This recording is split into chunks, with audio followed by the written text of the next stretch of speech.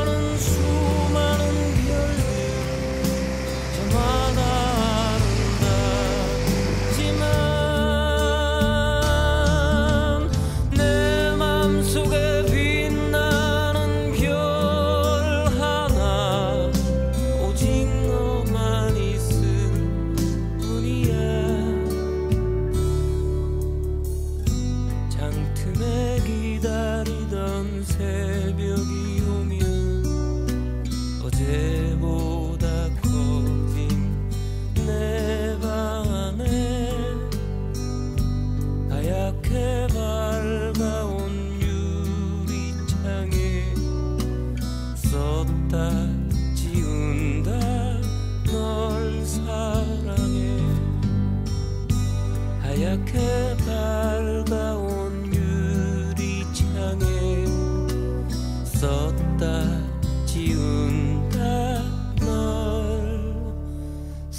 sarang he